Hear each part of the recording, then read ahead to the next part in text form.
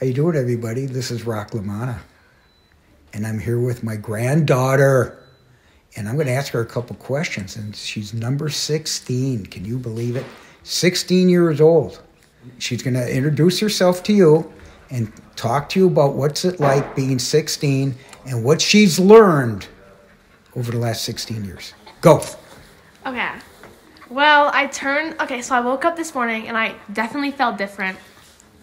One of my best friends, Edie, said that you're gonna feel different when you're 16 because now that you're 16, like, you kind of get rounded up to 20 instead of being like, I'm like getting towards my older teen years. Ooh. You know what I'm saying?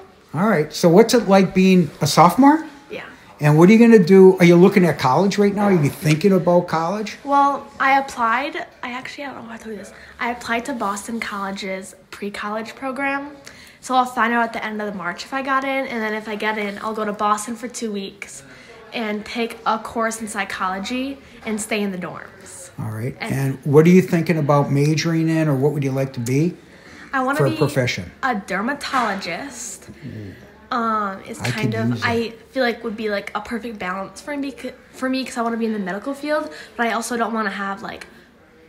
I think realistically it would be hard for me to have people's like life in my hands. You know what I'm saying? Mm-hmm. But also surgery really really interests me, so we'll see what happens. All right. So, let me see here. My last question is what has Papa Rock, doing business as the deal flow guy, has taught you?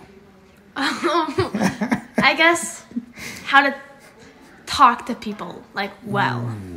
Like conversing very easily and also like selling things, if you will. Like whenever I like sometimes I'll work the hockey stands, concessions, or hand out um like flyers or there are these things called theatergrams um, at Jackson's musicals and plays.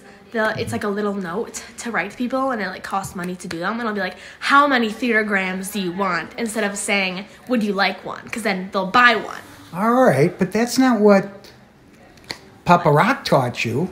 But in the meantime, let's finalize it and say what do you like best about your brother, your mother, and your grandparents, and your family, and your father?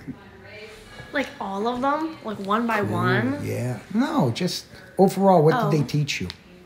I guess they kind of taught me, well, my mom especially taught me like to look at the overall picture and to not like narrow in on one thing.